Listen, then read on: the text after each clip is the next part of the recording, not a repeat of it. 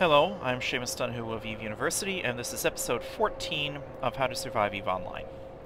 Now, those of you who are sharp-eyed might have noticed that in the previous episode, I never actually got around to refining the Veldspar that I was mining. That would be a very astute observation. Really, the mission only had two requirements. One, trigger the objective, uh, set off the, object the objective trigger at the location which I think was either on destroying a Serpentis pirate or on mining the asteroid, possibly both and the other was to get 333 units of titanium to the agent, doesn't matter how you get it to the agent. I already had leftover titanium. So it's just as well. I'll just move the spare Veldspar. Anyway, let's request mission from Loic Mencier. And he wants us to investigate a Serpentis listening post, and he wants us to break into it using a civilian codebreaker, and he will supply that module to us. And this mission takes place in Clellinon. Uh, we don't have to do any salvaging or mining work, so we don't need the uh, mining. Uh, we don't need the salvager or mining laser in the high slot. Let's accept the mission and close, and the game will provide some text to read about hacking and code breakers, and then we'll provide you two completely unrelated skill books. Uh, if you can, inject the skill. You may not necessarily have the prerequisite skill needed for it. If you don't, don't worry about it. Let's open the fitting window.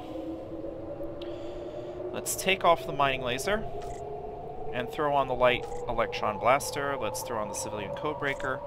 Insufficient power. Huh. How much power am I short? Insufficient power. Hmm. Alright, you know what? Let me get rid of the afterburner. Yeah, I've only got 23 megawatts, and apparently I was at 23 megawatts, so I couldn't bring the civilian codebreaker online. Alright. Here's an interesting thing to know about weapons. If you empty your weapons, and they are identical, they, these are both light electron blaster ones, you can shift click and drag one weapon onto the other to group them. Let go of the shift key then. Click and drag the weapons onto your ship, you'll load both weapons, and what grouping weapons does for you is that with one module click, you can fire both weapons at once. They will, of course, both use ammunition, so you're still using ammunition at the rate of two weapons worth, but you don't have to click each module separately. This can be important if you've got six weapons attached to your ship. Right-click empty space, balancing books, encounter dead space, warp to location. Warp drive active.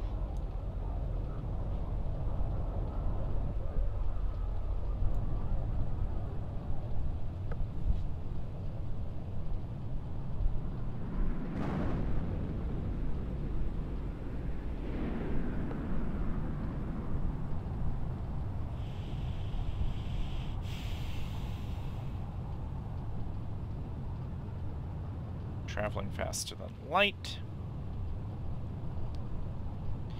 Here's the acceleration gate. You can either, let's right click the gate and select activate gate. Warp drive active. Doesn't matter whether you right click the gate and select act activate gate or left click the gate and then left click the activate gate button down here. Either method works.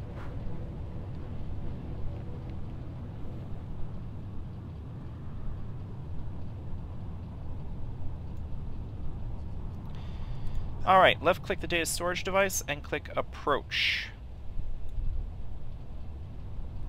And let's lock both the data storage device and the Serpentis rookie.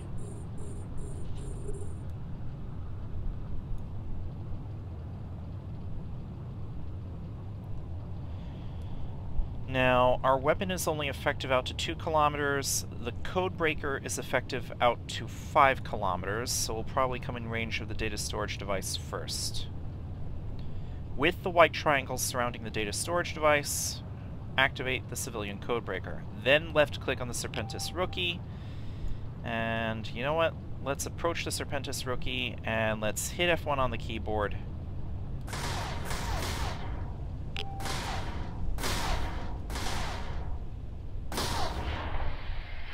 And that causes him to explode. Let's left click the wreck, open the wreck, and let's grab the loot. An Acolyte 1 drone. Ah, uh, drones. I haven't really gotten into the subject of drones. Um, you know what? There's going to be an opportunity in the advanced military chain to talk about what drones are. Uh, so I'll go into more detail there. But uh, to put it in short, a drone is an autonomous device that can be launched from your ship and can attack your enemies for you. Unfortunately, I cannot demonstrate a drone right now because the game does not allow you to move a drone from your cargo hold to your drone bay. If you were to try, the game throws an error at you. You cannot load to or unload from the drone bay while in space. You may be going through a lot of failed cycles on this codebreaker. I'm not going to bore you with the waiting time on this video. Alright, I've skipped ahead to a point in the video where I've successfully accessed the data storage device, open cargo, grab the two items that are in there. One of these is your mission objective. Uh, left click the station and dock. Warp drive active.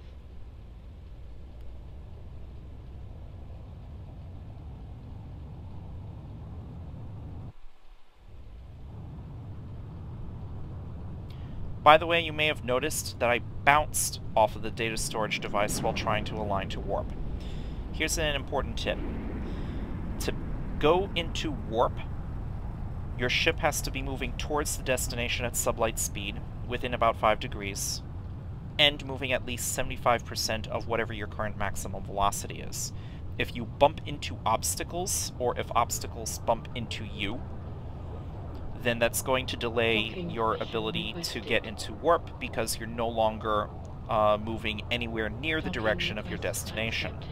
So your ship will automatically try to align to the destination again uh, before trying to go into warp.